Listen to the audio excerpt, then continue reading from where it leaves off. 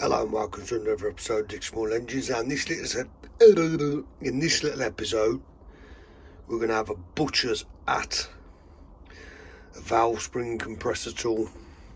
This is genuine. I think I had this from Briggs Bits. I've had it for a while, but I haven't got round to doing uh, any content on it yet. Uh, I will put a link somewhere here now if I can find one. I can't remember what I paid for it. There's the part number 19063.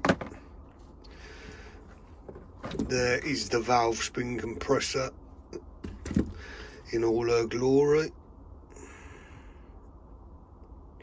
Made in the USA. Not much to it, but uh, let's have a butcher see how she works. Right. So there's not much to these tools. You've got an adjustment here, you wind in to clamp in on your spring and wind out. And then you've got two adjustments here to wind in and out according to the width or circumference of your spring and valve keeper. I've got this set.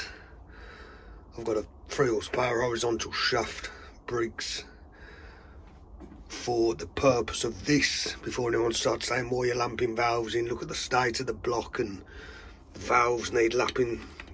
Going to do the intake valve for the purpose of this. I'm going to try and do it with one hand. No I'm not. Yes I am. So needs winding in a bit. Right. Valve spring and valve keeper is now fully compressed. Okay, that's in there. Let's make that, let's move this intake valve in.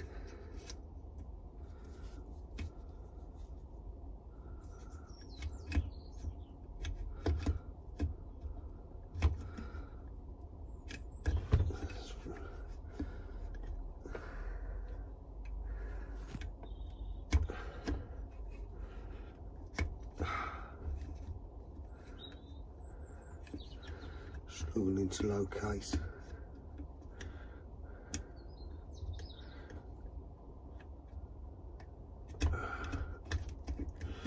It's better. It should be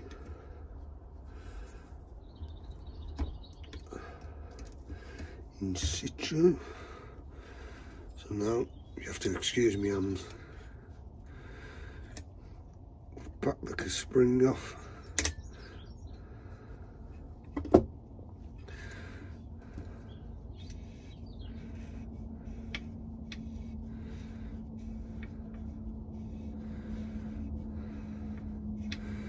And that intake valve is now as it should be.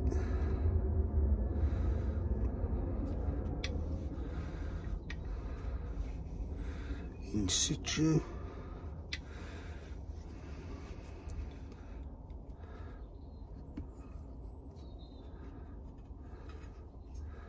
Yep.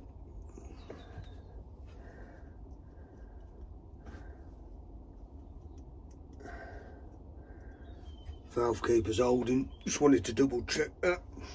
So, handy little tool, Briggs 190 six three is the part number off of Brig, Briggs Bits. If you like this little episode, I Dick's Small Engines. Oh, and the same procedure will go for removing the valve. Simple, straightforward. If you like this little episode, dig small engines, give us a like, share and subscribe. Until the next one, take care. Ta for now.